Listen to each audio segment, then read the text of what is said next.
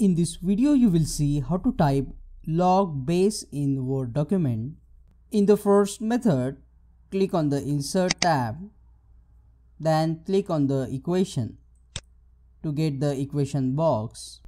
Now under the equation, click on the limit drop down and you will see here three options of log.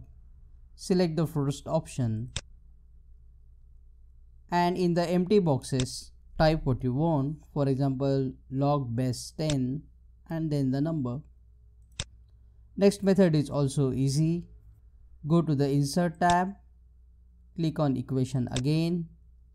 This time you can select the option script.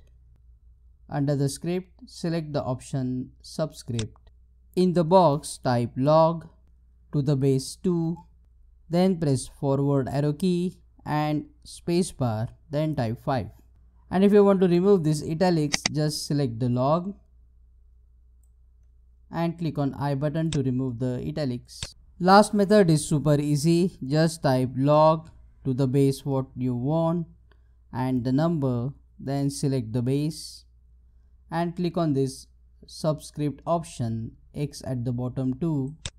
Now check out these useful videos shown on screen related to mathematical symbols in Word document. Click on that like button, subscribe and press the bell icon if you want to learn more tips and tricks quickly like this. Thank you.